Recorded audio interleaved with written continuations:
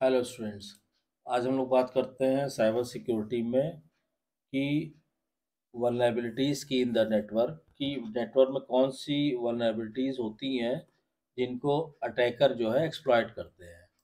तो देखिए मेनली क्या होता है कि an attacker would look to exploit the vulnerabilities in the network यानी नेटवर्क कहाँ से, कहाँ कहाँ से असुरक्षित है, उन पॉइंट्स को जो अटैकर हैं वो एक्सप्लॉयट करते हैं। क्योंकि उन पॉइंट्स पे नेटवर्क जो है वो एडिक्वेटली पर्याप्त रूप से प्रोटेक्टेड नहीं होते हैं। The categories of vulnerabilities that hackers typically search for तो अब इसमें अगर हम कैटेगरी बात करें कि इसे कैटेगरीज ऑफ़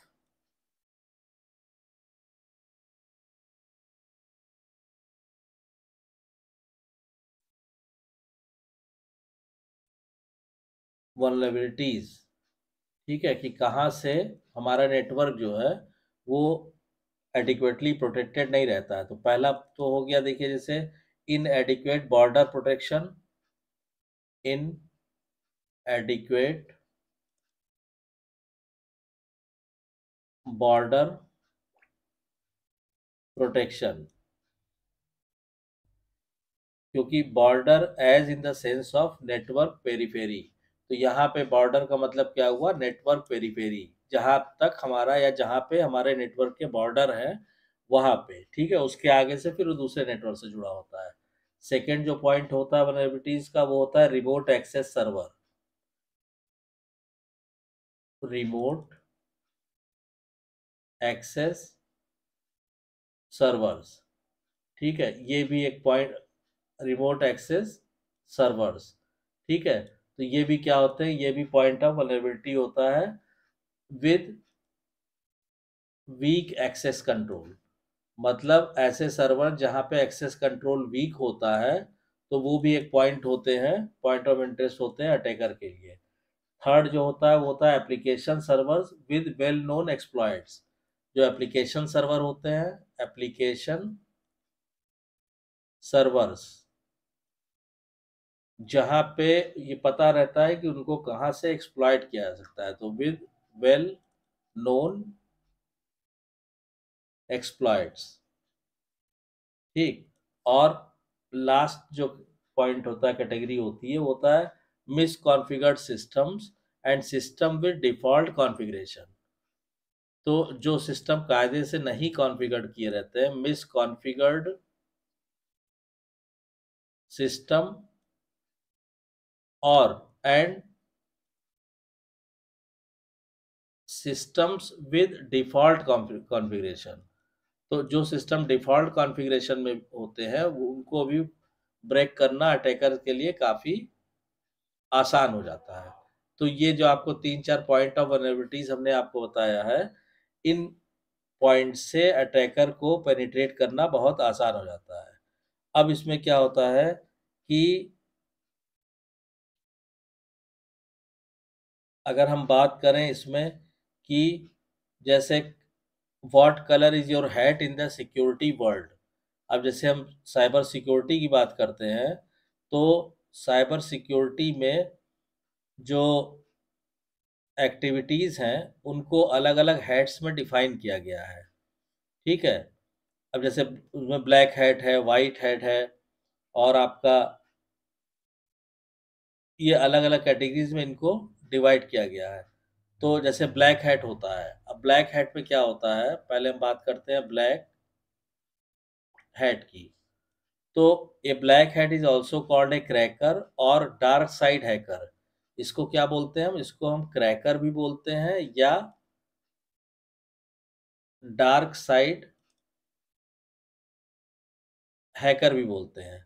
इसमें क्या होता है कि इस तरह का जो भी इंडिविजुअल होता है वो मलेशियस और क्रिमिनल हैकर होता है।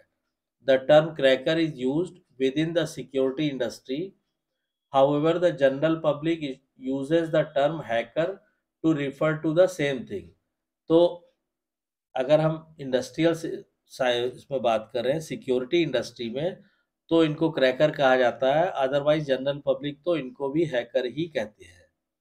ठीक है? In the computer jargon, the meaning of hacker can be much more broader.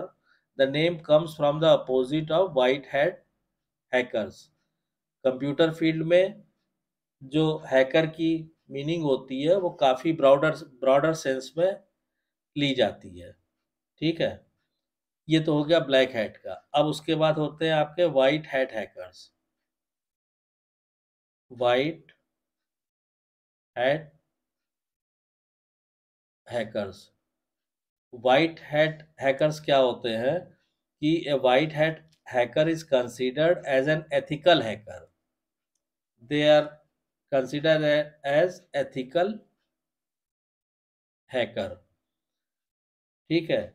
यानी कि ये उस तरह के इंडिविजुअल होते हैं who is ethically opposed to the abuse of computer system it is said that the term is derive from American western movies where the protagonist typically wore a white cowboy hat and hat and the antagonist typically wore a black one as a simplified explanation a white hat generally focuses on security securing it items whereas a black hat would like to break into them तो white hat hacker जो होते हैं वो generally focus करते हैं IT systems को secure करने में। और जो ब्लैक हैट होते हैं, वो इंटरेस्टेड रहते हैं उसको ब्रेक करने में। क्लियर अब इसमें क्या होता है कि a black hat will wish to secure his और her own machine whereas a white hat might need to break into a black hat's machine in course of an investigation तो अब ये जो वाइट हैट हैकर होते हैं, ये भी machine को ब्रेक करते हैं। किसी ब्लैक हैट पर्सन की मशीन को ये भी ब्रेक करना चाहते हैं, लेकिन इनका जो पर्पस होता है, वो होता है इन्वेस्टिगेशन का। ठीक है? अब एक्चुअली क्या डिफरेंस डिफरेंस होता है वाइट हैट में और ब्लैक हैट में? It all depends upon the interpretation ठीक है? ये सारी चीज़ें इंटरप्रिटेशन पे डिपेंड करती हैं। ठीक? इसके अलावा वाइट और ब्लैक के अलावा there are also other colours there are heads of other colours too जैसे ब्राउन हेड अब ब्राउन हेड जो होता है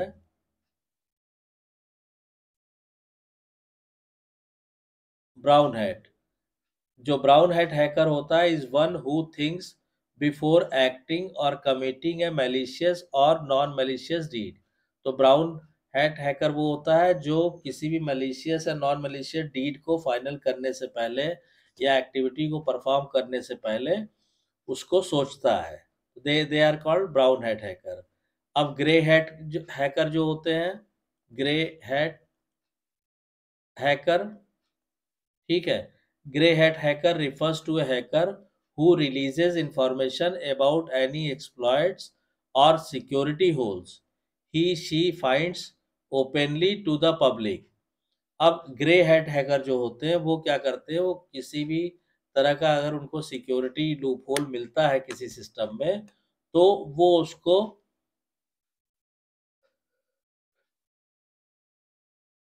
पब्लिकली ओपन कर देते हैं। और वो ऐसा इसलिए करते हैं कि he she does so without concern for how the information is used in the end whether for patching और एक्सप्लाइटिंग तो मतलब वो क्या करते हैं? वो इस इंफॉर्मेशन को डिस्क्लोज कर देते हैं। वो ये भी नहीं सोचते कि इस इंफॉर्मेशन का यूज़ होगा या मिसयूज होगा। So these are the different categories of white black brown grey head hackers ठीक है? और इसमें एक दो तरह के भी हैकर्स होते हैं। वो आगे ड्यू कोर्स ऑफ़ टाइम में जब भी हम लोग डिस्कस करेंगे और आएँगे तो उसके बारे में हम लोग डिस्कस करेंगे। अब इसके बाद हम लोग बात करते हैं कैटेगरीज ऑफ़ साइबर क्राइम की। कि साइबर क्राइम की कैटेगरीज क्या होती हैं? So we start with categories of cyber crime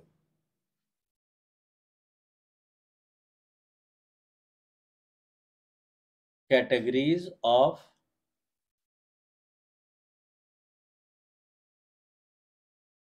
cyber crime तो देखिए, इसमें क्या होता है कि साइबर क्राइम ब्रॉडली उसको हम कैटेगराइज कर सकते हैं दो चीज़ों पे, बेस्ड ऑन टू थिंग्स। पहला क्या है? टारगेट ऑफ़ द क्राइम मतलब जो क्राइम हो रहा है उसका टारगेट कौन है? तो टारगेट ऑफ़ द क्राइम और सेकंड जो है वो ये है कि whether the crime occurs as a single event और ए सीरीज़ ऑफ़ इवेंट दूसरा पॉइंट ये है कि whether the crime occurs as a single event और as a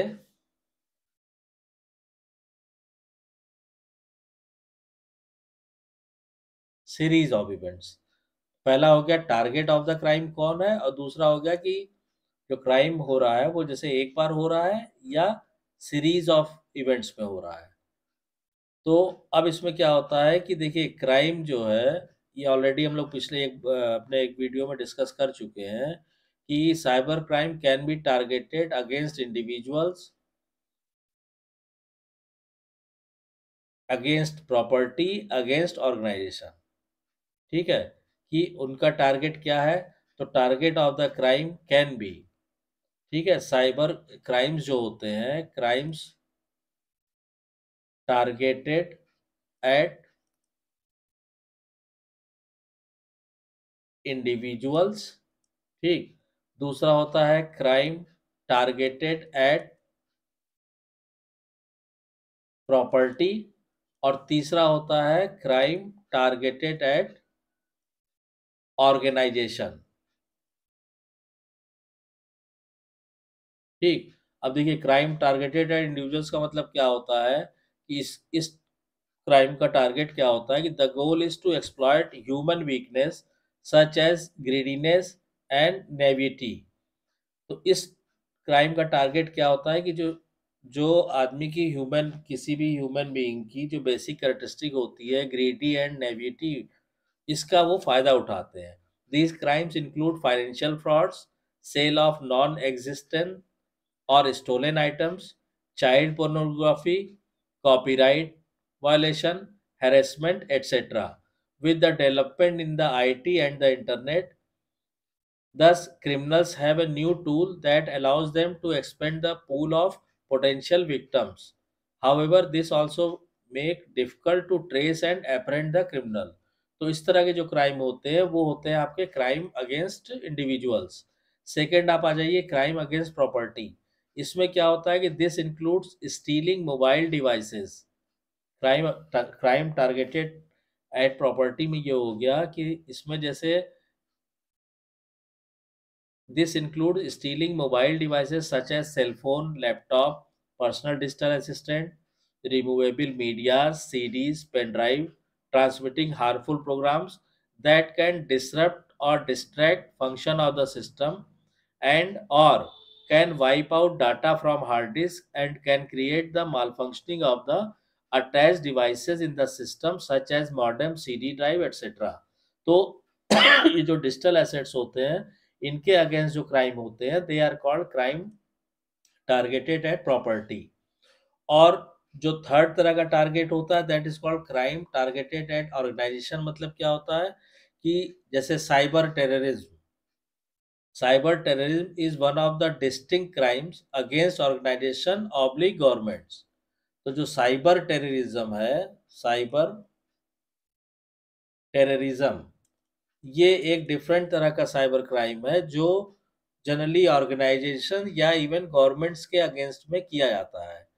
अटैकर जो होते हैं इसमें, चाहे वो इंडिविजुअल हो, चाहे group of individual who they use computer tools and the internet to usually terrorise the citizens of a particular country by stealing the private information वो उस पर्टिकुलर कंट्री के सिटीजन को, रहने वाले लोगों को टेरराइज करते हैं, उनको डराते हैं by stealing their private information और इसके साथ ही साथ they also damage the programs and files और plant programs to get control of the network and और सिस्टम केवल वो इतना ही नहीं करते स्टिंग इंफॉर्मेशन के अलावा वो फाइल्स को डैमेज भी कर देते हैं प्रोग्राम को डैमेज कर देते हैं और इवन कुछ अपने भी प्रोग्राम वो प्लांट कर देते हैं नेटवर्क में ताकि नेटवर्क का कंट्रोल उनके पास पहुँच जाए या उनके पास चला जाए।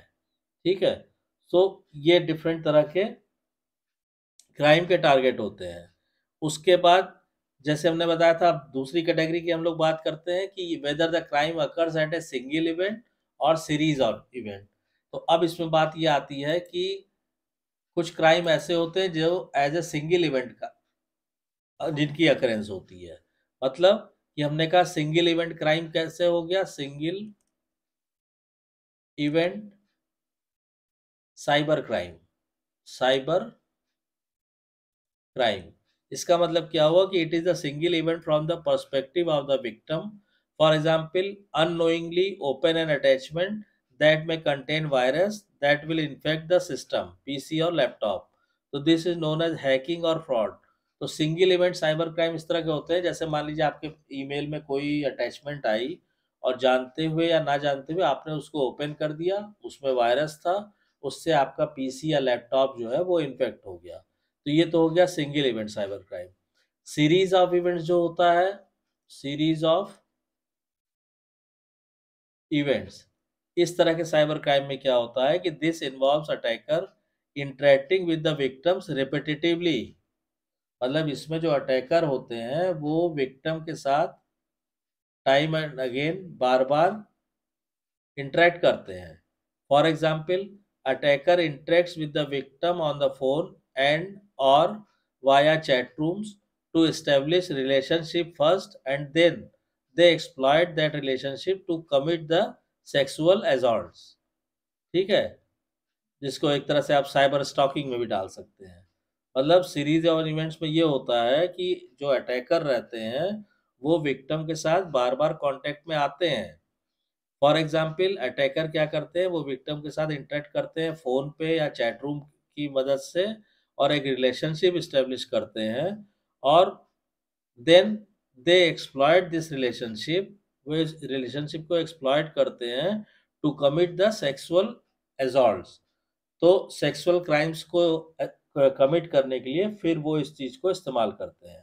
तो ये चीज़ें कहलाती हैं सीरीज़ ऑफ़ इवेंट्स तो आई होप कि आज जो आपको जानकारी दी गई है, ये आपको अच्छी लगी होगी। अगर इसके रिगार्डिंग कोई डाउट्स या कन्फ्यूज़न है तो कमेंट लाइन में कमेंट करके लिखिए। और अगर वीडियो कंटेंट पसंद आ रहा है तो प्लीज़ वीडियो को शेयर कीजिए, लाइक कीजिए, चैनल को सब्सक्राइब कीजिए और नोटिफिकेशन बेल को ज़रूर ऑन कर दीजिए ताकि नेक्स्ट वीडियो की इन्फॉर्मेशन आपको टाइम से मिल सके। Thank you.